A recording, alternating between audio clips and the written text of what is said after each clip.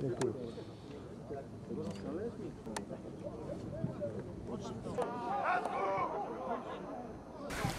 Marcin Pietroń, strzelec jedynej bramki dla gliwickiego Piasta w tym spotkaniu. No dzisiaj Marcin musiałeś wyręczyć napastników. No, cieszę się, że udało mi się strzelić bramkę. Jednak nie to jest najważniejsze, no, chodzi nam o styl gry, jak mamy grać. Mamy w sumie jeszcze miesiąc do ligi, cały, cały czas trenujemy kątem, żeby, żeby w tym pierwszym meczie e, w lidze były no, tak, tak jakbyśmy chcieli grać. Praktycznie dobrze.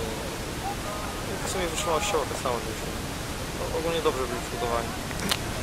No formie jest chyba trochę za wcześnie, żeby mówić. Mamy jeszcze miesiąc przygotowania i no ogólnie nie tylko ja, i większość chłopaków dobrze się czujemy już, ale no, mamy jeszcze miesiąc, miesiąc do ligi i no, cały czas trenujemy, żeby ta forma była na początek marca jak najwyższa. Wiadomo, nie, nie, nie jest jeszcze, jeszcze 100% taka, jak trener życzył, chcieli, ale myślę, że pracujemy pod kątem już dobrze.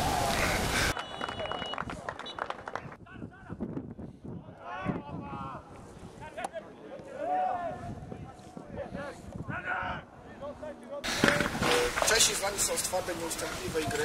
Dzisiaj chyba to pokazali. Jak oceniasz zespół Stryjca? Tak jak większość zespołów jeszcze grają e, twardo. e, To z tym, z tym na pewno zmierzymy się w lidze, gdzie, gdzie musimy być przyzwyczajeni do, do tej e, twardej gry i na pewno takie sparingi myślę, że zaprocentują w lidze. No nie ma co ukrywać, że jest kadra wyrównana, nawet bardzo wyrównana. Jest, tak jak powiedział Słowek, co najmniej dwóch, dwóch zawodników na pozycję. No cóż, no, rywalizacja jeszcze nikomu nie zaszkodziła. E, może tylko wyjść na dobre drużynie, a drużyna jest najważniejsza, bo wiemy o co gramy, a awans. Jesteś już e, długo w Gliwicach. Wierzysz, że e, Twoje doświadczenie zaprezentuje i pomożesz zespołowi walce awans do Ekstraklasy? E, Nie tylko ja, ale każdy z nas e, na pewno będzie chciał e, pomóc dołożyć swoją cegiełkę do tego, żeby, żeby Piast awansował, żeby klub, klub się dalej rozwijał poprzez ten awans.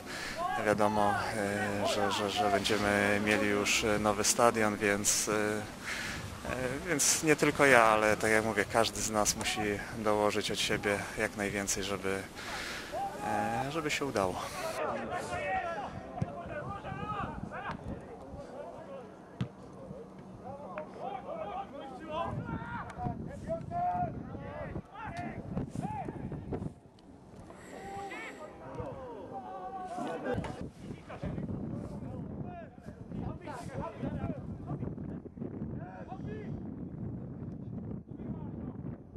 Hey! Hey!